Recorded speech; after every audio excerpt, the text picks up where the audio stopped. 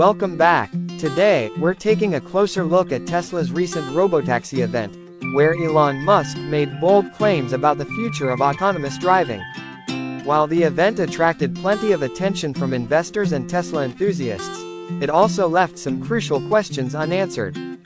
Held in Palo Alto, California, the Robotaxi event showcased Tesla's latest advancements in autonomous driving, with Musk unveiling the new full self-driving computer. He emphasized the potential for Tesla vehicles to become fully autonomous, sparking excitement among industry experts and the broader market. One of the most talked about aspects of the event was Musk's vision of a Tesla robotaxi fleet, which could revolutionize transportation and create significant economic opportunities.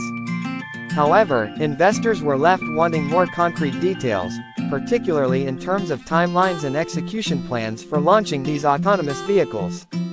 While the event highlighted Tesla's commitment to innovation, particularly in autonomous driving technology, it didn't provide all the specifics that investors were hoping for. Musk's remarks about the future of self-driving cars stirred curiosity but also raised questions about how and when Tesla plans to roll out its ambitious robotaxi strategy.